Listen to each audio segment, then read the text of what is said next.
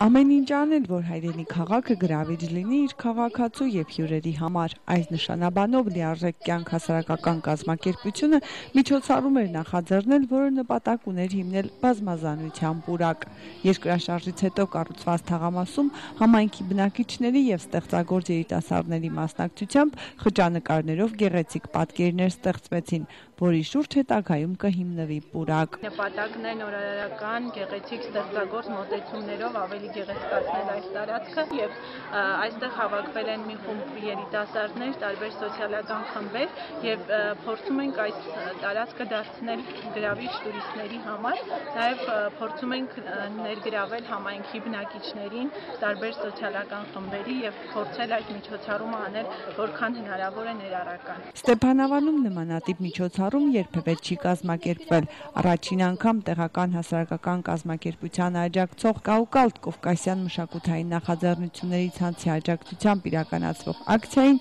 միացել էին նաև այլ հասարակական կազմակերպություններ ու կամավորներ։ Արդյունքը տպավորիչ էր։ Այս թաղամասում տարիներ շարունակ կլինի եւ յուրաքանչյուր անգամ բակ դուրս գալուց այդ փոքրիկ նկարները եւ պատկերները տեսնելուց յուրաքանչյուր բնակչի